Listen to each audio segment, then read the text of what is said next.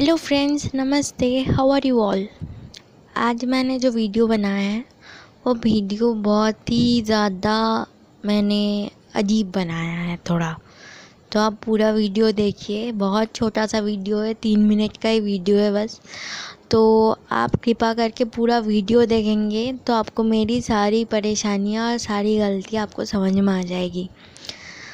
हम जब अपने हाथ पे या किसी और के हाथ में जब मेहंदी लगाते हैं या टैटू बनाते हैं या मैं अपनी, अब मैं खुद जो करती हूँ उसके ऊपर बोल रही हूँ कि जब हम मेहंदी करते हैं तो थोड़ा हम लोगों को अजीब लगता है और हमारा कंफर्ट जोन थोड़ा अजीब हो जाता है।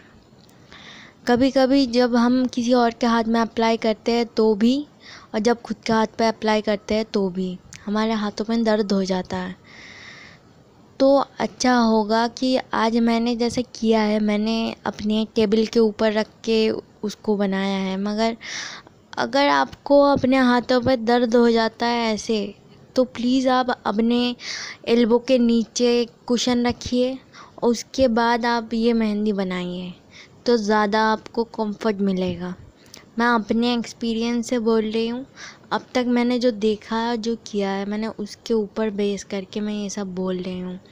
क्योंकि आज मैंने जो वीडियो बनाया है, वो मेरी ही गलती के कारण हुआ है और मैंने जो भी गलती की है, वो सब आप भी ना करो। इसलिए मैं ये सब बोल रही हूँ। बहुत बिगिनर्स हैं, बहुत लोग हैं। आज तक मैंने किसी बिगिनर के लिए कोई वीडियो नहीं बनाया है। आप देख रहे होगे।